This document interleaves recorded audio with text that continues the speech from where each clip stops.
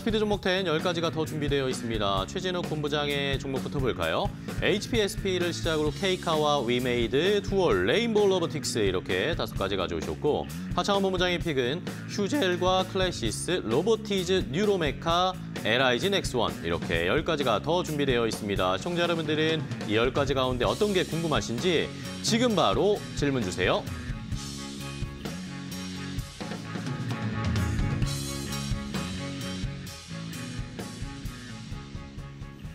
자, 두 분이 이렇게 좋은 종목들 10가지를 더 가지고 오셨습니다. 이 종목들 잘 보셨죠? 두 분이 가지고 오신 이 종목 가운데, 이 리스트에 있는 종목들 가운데 궁금한 점이 있으시면 질문을 주시면 됩니다. 유튜브 라이브 댓글창 샵 3772번 문자 항상 열려 있으니까요. 여기에 질문 주시면 두 분이 그런 내용을 포함해서 설명을 드릴 겁니다. 많이 참여해 주시고 지금 바로 질문을 주시면 되겠습니다.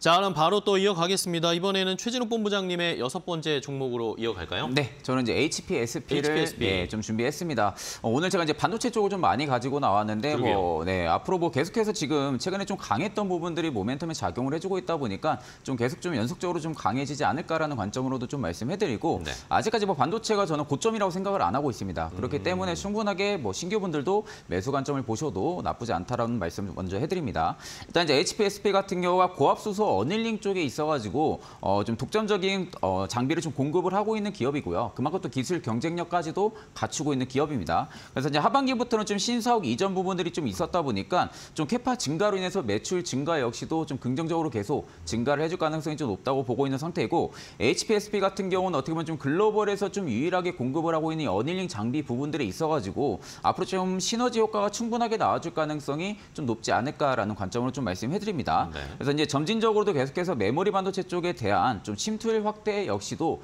본격화가 될 가능성이 좀 높다고 보고 있는 상황이고요.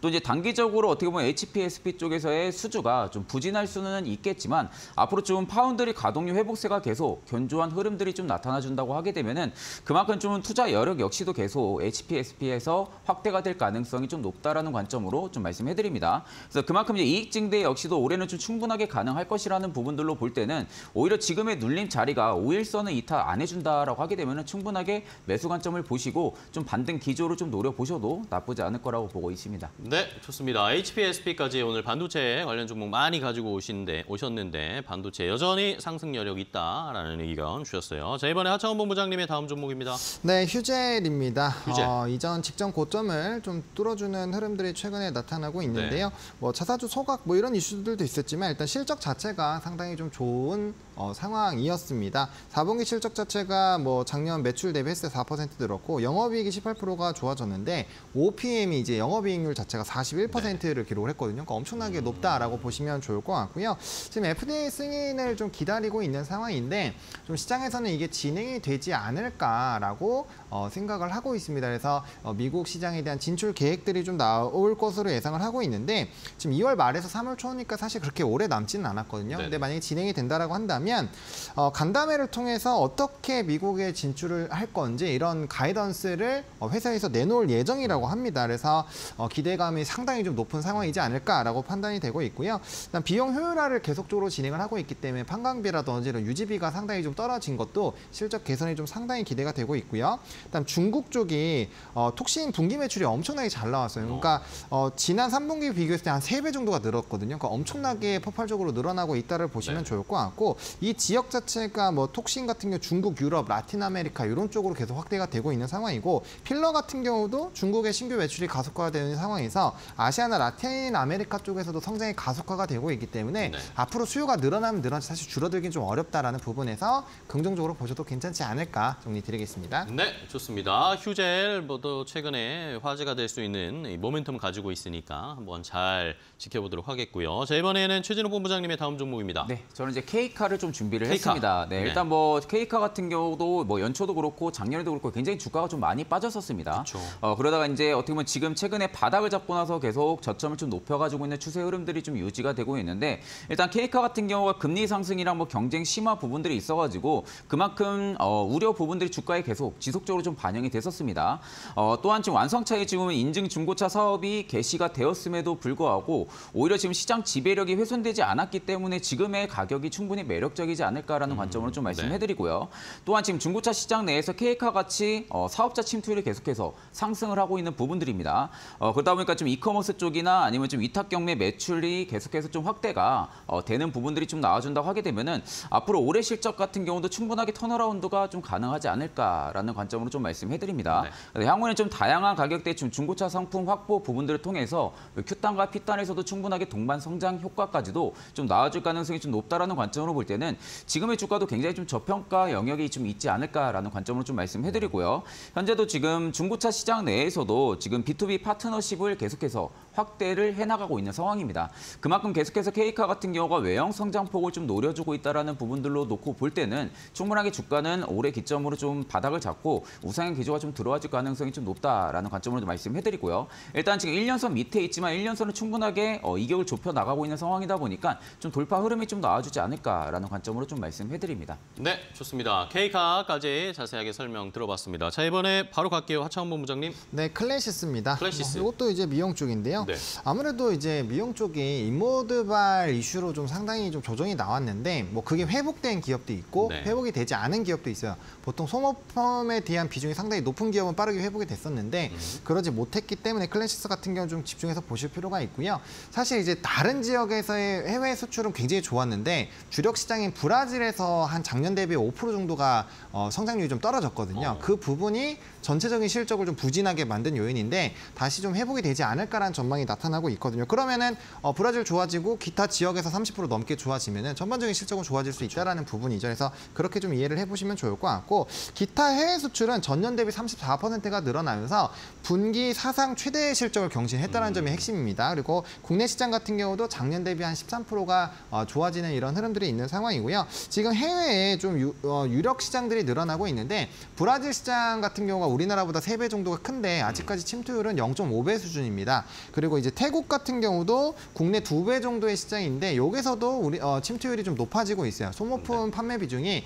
보통 해외 같은 경우는 한 40% 정도가 되는데 아직까지 30% 정도의 점유율을 차지를 하고 있단 말이에요. 그러면은 상방룸 자체가 10%가 넘게 남아 있기 때문에 충분히 긍정적이다라고 보시면 좋을 것 같고요. 이쪽은 이제 소모품이 필요 하기 때문에 거- 결국엔 구독 경제화가 된다라고 보시면 되기 때문에 안정적인 실적에 대한 확보가 기대가 된다라고 정리드리겠습니다. 네, 좋습니다. 클래시스 역시 어, 뷰티 관련 종목을 또 하나 가져오셨는데 유튜브에서 레몬트리님이 하 본부장님은 역시 뷰티 전문가 안 가져오시면 섭섭하다 뷰티 관련 종목을 이야기해 주시고 그러면서 질문을 주셨어요. 어, 클래시스 요즘에 좀 급등하는 바람에 매수 타이밍을 놓쳤는데 네. 한번 조정이 올까요? 그때 들어가는 게 나을까요? 아니면 지금이라도 매수를 해도 좋을까요? 라고 진입가, 매수가를 좀 알려달라고 하시- 하시네요. 어, 네. 지금도 괜찮다라고 보여지는데 말씀 주신 것처럼 이 거래 사이에 단기적으로 좀 상승이 네네. 나타났거든요. 그렇기 때문에 밴드로 분할 매수 관점으로 보시면 좋을 것 같습니다.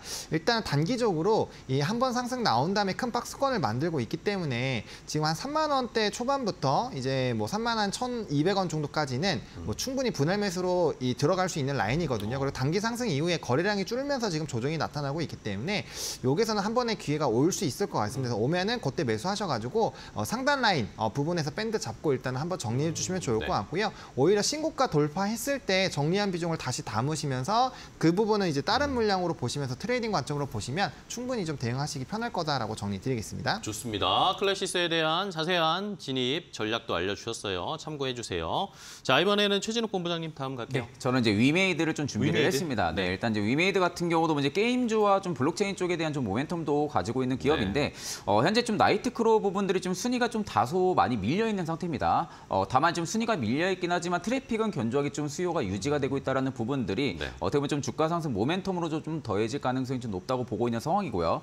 또한 지금 블록체인 게임을 지금 준비 중인 부분들이 나이트크로우 글로벌인데 이 나이트크로우 글로벌 부분들이 올해 1분기에 지금 출시를 앞두고 있는 상황입니다. 어, 그래서 이제 신작 출시 모멘텀 효과까지도 충분하게 이어질 가능성이 좀 높지 않을까라는 관점으로 좀 말씀해드리고 일단 어, 11일부터 글로벌 사전 예약을 어, 저번 달에 좀 시작을 했습니다. 그러면서 좀 NFT 쪽에 대한 어, 판매까지도 지금 마케팅을 본격화를 하고 있는 상황이다 보니까 올해 좀 매출 성장폭이 좀 긍정적으로 좀 나와주지 않을까라는 관점으로 좀 말씀해드리고요. 일단 나이트크로우 같은 경우도 트래픽이 지금 기존 수준을 계속해서 유지를 해주고 있는 상황이다 보니까 어, 1주년 이후에도 충분하게 어, 반등이 나올 가능성이 좀 높지 않을까라는 관점으로 좀 말씀해드리고 현재 뭐 나이트크로우 개발사인 매드엔진 쪽과에 대한 자회사 편입까지도 지금 어, 예정이 되어 있는 상황이다 보- 보니까 충분하게 좀 반등 기조로 이번에 좀 잡아줄 가능성이 좀 높지 않을까라는 관점입니다. 그래서 지금 뭐 일봉 상으로만 놓고 봐도 지금 이평들이 전부 다 밀집이 되어 있는 상황이고요. 또 월봉 같은 경우도 지금 이평이 전부 다 밀집이 되어 있는 상황입니다. 그만큼 이제 이평이 지금 밀집이 되어 있으면서 방향성을 좀 위로 틀어줄 가능성이 좀 높지 높다는 관점으로 볼 때는 충분하게 현 구간이 좀 저점이지 않을까라는 관점으로 좀 말씀을 해드리도록 하겠습니다. 네, 좋습니다. 자, 위메이드까지 자세한 설명을 들어봤습니다. 자, 이번에 하차원 본부장님 종목 바로 갈게요. 네, 로보티즈입니다. 로봇주. 네, 로봇주 중에서 저는 이제 지능형 로봇법에서의 좀 수혜를 빠르게 볼수 네. 있는 기업을 좀 보고 있는데요. 그게 이제 로보티즈이지 않을까라고 보고 있습니다. 일단 매출 비중의 90%는 감속기에서 나타나고 있기 때문에 뭐 출하량이 늘어나게 된다면 뭐 단연 수혜를 받는 종목이라고 일단 보시면 좋을 것 같고요. 제가 조금 지켜보고 있는 거는 이름이 개미예요, 일개미. 네. 어, 로봇 개미를 운영을 하고 있는데 지금 60여 대의 이제 자율 배달 로봇이 있거든요. 이게 네. 보행인으로 2월 달에 승인을 받을 예정입니다. 어. 그러면은 이제 배달 지역을 확대가 될 텐데 그 뭐 그거보다 사실 요번에 또 기사가 새롭게 났어요. 일본 병원에서 이 자율주행 로봇으로 이제 이 개미가 음. 들어간다. 지금 시- 어. 사법 시행을 좀 준비하고 있다. 이런 얘기가 또 나오고 있거든요. 그러니까 이게 상당히 가속화가 진행이 되고 있다라는 겁니다. 우리가 배달 쪽 같은 경우 보통 1.8km 안에서 거의 다 배달이 완료가 된다라고 해요. 큰 음. 큰 중심점을 봤을 때. 근데 이, 배- 이 이제 로봇 같은 경우가 충분히 어, 소화가 가능하다라고 보여주고 있고 시속도 10에서 15km 정도여서 배달 속도가 그렇게 느리지 않다라고 합니다. 만약에 이 비용이 지금 배달비보다만 싸면은 이 일개미는 엄청나게 늘어날 수 있다라는 거죠. 그래서 그런 관점에서 보시면 좋을 것 같고요. 그다음에 어, 뭐 글로벌 롯데 글로벌 로지스틱스와 이제 MOU 체결 등을 하면서 이런 물류 쪽에 대한 기대감이 상당히 높아지고 있고 어, 원래 지금 한 60대 정도를 가지고 있었는데 이게 1000대에서 1500대까지 늘릴 예정 입니다. 네. 그러니까 이게 굉장히 좀 외형 성장이 나올 것이기 때문에 바닥권에 있을 때 한번 관심을 가져보시는 거 괜찮지 않, 않을까라고 생각하고 있습니다. 네, 알겠습니다. 로보티즈, 로봇 쪽 관련 종목으로 하차원 본부장님은 로보티즈를 선정을 해주셨고, 자 이번에는 최진욱 본부장님 다음 종목 할까요? 네, 저는 이제 자동차 부품에서 두올을 좀 가지고 두올, 나왔습니다. 네, 부품주. 일단 이제 두올 같은 경우도 최근에 좀 한번 급등이 좀 나왔었습니다. 어, 급등이 나왔지만 지금 윗골이 좀 길게 남기고 좀 밑으로 살, 소폭 밀리고 있는 부분들이지만 아마 앞전에 좀 물량을 좀 체크를 하고 밀린 것으로 지금 판단이 들어요. 네. 그렇기 때문에 아마 지금 부분대에서도 누군가 좀 매집을 하지 않았을까라는 관점으로 좀 말씀을 해드리고 일단 자동차 뭐 시트 커버라든지 에어백 등을 좀 생산하고 납품을 하는 기업입니다. 그래서 지금 이미 현대랑 기아를 통해서 주요 차종에 대한 안정적인 수주 물량까지도 두올 측 같은 경우는 계속해서 확보를 하고 있는 상황이라고 좀 말씀을 해드리고요. 어, 핵심 차종 같은 경우에도 지금 차량 가격이 지금 상승에 따라 가지고 오히려 시트 옵션가가 동반 상승이 된다고 하게 되면은 어, 물론 이제 Q나 P에서도 충분하게 상승 효과가 올해는 좀 나와 줄 가능성이 좀 높지 않을까라는 관점으로 좀 말씀해드립니다. 그래서 올해도 좀 현기차의 좀 안정적인 물량 확보 부분들과 그리고 주요 RV 차종들에 대한 좀 선호 유지도 그리고 섬유 가격이 좀 안정화가 되면서 그에 따른 두월의 안정적인 실적 성장이 올해는 어, 두각을 나타내지 않을까라는 관점으로 좀 말씀해드리고요. 현재 두월 같은 경우도 현대의 좀 산타페 국내 생산 물량의 전량을 수주를 완료로 한 상태입니다. 어, 그만큼 좀 견조한 수요를 바탕으로 해서 좀 산타페 신차 효과까지도 두월 측면에서 주가 상승 모멘텀이 되어질 가능성이 좀 높지 않을까라는 관점으로 좀 말씀해드리고 어, 최근에 좀 급등이 나왔던 부분들이 있어서는 크게 뭐 신경을 쓸 필요가 없이 네. 오히려 앞쪽에 좀 물량을 체크하고 좀 밀렸던 부분들이 있었다 보니까 좀 이렇게 조용하게 움직일 당시에 한 번 더 튀는 그런 성격들도 많이 가지고 있거든요. 그렇기 때문에 충분하게 지금 구간에서도 저점 매수 한번 노려보셔도 나쁘지 않을 거라고 보고 있습니다. 네, 좋습니다. 최진욱 본부장님도 자동차 부품주 하나 두올로 소개를 해주셨어요. 자 이번에는 하창원 본부장님의 다음 종목 하겠습니다. 네, 또 로봇주입니다. 뉴로메카인 데요. 뉴로메카. 어, 사실 이제 뉴로메카라고 하면은 다들 이제 로봇팔만 자꾸 생각을 하시더라고요. 그쵸. 물론 이제 교촌치킨과의 이런 MOU를 네. 통해서 로봇팔 많이 출시를 하고 있기는 합니다. 그쵸. 근데 이 회사가 그것만 하는 건 아니거든요. 그래서 이미지가 좀 그걸로 유명해지긴 했지만 음. 그것만 하는 회사는 아니다라는 점을 좀 강조를 드리고 싶고요. 지금 뭐 용접이나 수술, 치킨 이런 쪽으로 로봇 영역을 계속 확대를 하고 있는 상황인데 사실 제가 제일 기대를 하고 있는 것은 용접용입니다. 용접용. 용접. 네, 이게 조선이나 뭐 자동차나 이런 쪽에서 용접을 하시는 일을 하시는 분들이 이제 한 14만 명 정도, 12만에서 14만 명 정도라고 네네. 하세요. 근데 여기에서 로봇이 침투를 이제 하고 있다라고 합니다. 음. 특히나 조선업 같은 경우는 한참 어, 수주도 많이 받고 했을 때 문제가 나왔던 게 인력이 부족하다라는 얘기들이 많이 있었거든요. 그만큼 좀 힘든 일이다 보니까 어, 관련된 로봇에 대한 출하량이 좀 늘어날 것 같고요. 어, 1년에 1%씩만 늘어나도 1,200대씩 늘어나거든요. 근데 로봇팔은요, 어, 교촌의 전체 매장이 지금 한 1,300개 조금 넘어요. 그러니까 일년에 100개씩 늘어나는 것보다 훨씬 더 가속화가 많아진다는 거죠. 결국에는 얼마나 많은 로봇이 출하가 되느냐가 좀 핵심인데 용접 쪽에서는 또 독보적인 기술력도 가지고 있기 때문에 충분히 좀 기대가 되고 있고요. 또 세계 최초로 AI 협동 로봇도 출시를 했기 때문에 어, 관련된 AI 쪽으로도 좀 붙어줄 수 있고요. 그다음에 의료용 수술 로봇이죠. 뭐 큐렉소나 앞서 말씀해 주신 그런 종목군들과도 어, 사실 MOU를 맺은 상황이기 때문에 충분히 사업 영역이 다양화가 되고 있다는 점 강조를 드리고 싶습니다. 네, 알겠습니다. 로봇 관련 하나 더 뉴로메카로 소개를 해주셨어요. 자, 그럼 이번에는 최진욱 본부장님의 마지막 종목인데 마지막 종목도 역시 로봇주. 오늘. 로봇주를 두 분이 많이 가지고 오시네요. 네네. 어, 레인보우 로보틱스를 주셨는데 아까 우리가 말씀드렸던 이미란 님이 레인보우 로보틱스도 가지고 계시는데 14만 8천 원이시래요. 어, 역시 네네. 수익 중이십니다. 이걸 어떻게 하면 좋을지 전반적으로 좀 설명해 주시면 될 것 같아요. 네네.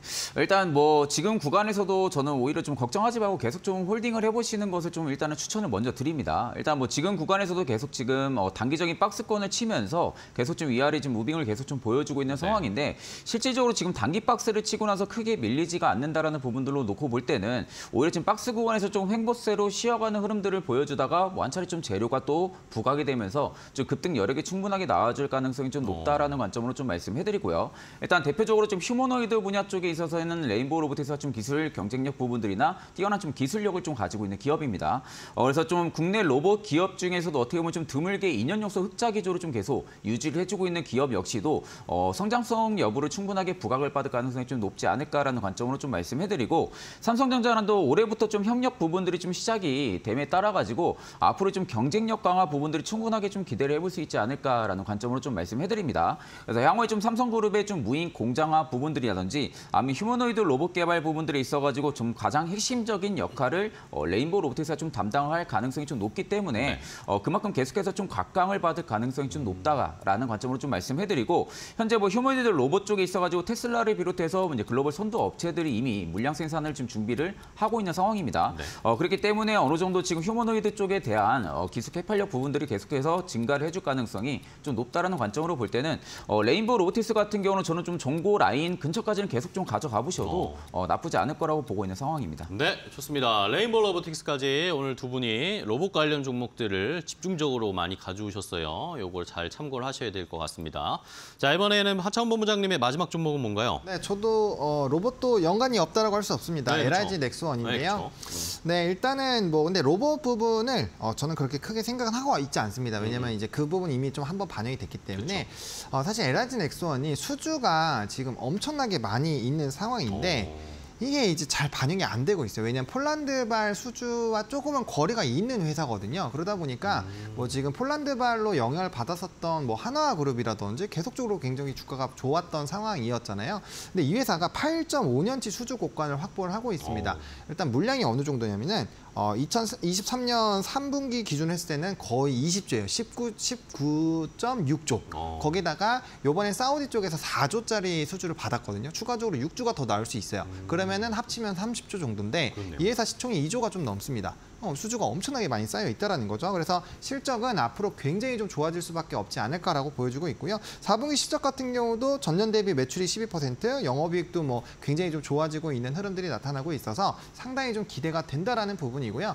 지금 방산 쪽에서 핵심은 결국에는 이 지역이 얼마나 다변화가 되는 건데 이게 수출입은행이 아직까지는 계류 중이기 때문에 그걸 제외한 오일머니가 굉장히 강한다거나 네네. 어, 그런 쪽이 상당히 좀 중요하거든요. 사우디 쪽은 사실 오일머니가 엄청나게 핫한 곳이 잖아요. 그러다 보니까 그런 것들이 좀 의미가 있고요. 지역이 확대가 되면서 사실 방산 순위가 9위인데 우리나라가 지금 한 5위까지는 퍼센테이지가 그렇게 차이가 안 나거든요. 그 순위가 높아질 땐 또 다른 지평이 열릴 수 있기 때문에 해당 부분을 좀 잘 집중해서 보시면 좋겠습니다. 네, 알겠습니다. LIG 넥스원까지 자세하게 설명해 주셨어요. 로봇으로 지금 주가 한 단계 레벨업 했는데 그 다음에 또 이 수주나 실적으로 잘 더 갈 수 있을지 살펴보겠습니다. 자, 그럼 이제 두 분이 10개, 10개 전부 다 소개를 해 주셨어요.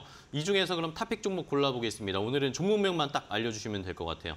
최진욱 본부장님. 네, 저는 마지막 소개해드린 레인보우 로보틱스를 좀 말씀을 해드리도록 레인보우 하겠습니다. 로보틱스 하창원 본부장님은요? 네, 저도 지난주에 이어서 LIG 넥스원 추가적으로 어. 네, 더 가겠습니다. 좋습니다. LIG 넥스원과 레인보우 로보틱스 오늘 시장에서 조금 더 자세하게 살펴보시고 어, 저희 오늘 top pick 종목으로 골라드렸으니까요. 살펴보시기 바랍니다. 자, 오늘 두 분과 함께 종목 소개해드렸습니다. 오늘도 좋은 종목 소개해 주셔서 감사하고요. 다음 시간에 두 분 더 좋은 종목 많이 가지고 찾아와 주세요. 고생 많으셨어요. 고맙습니다. 감사합니다. 고맙습니다.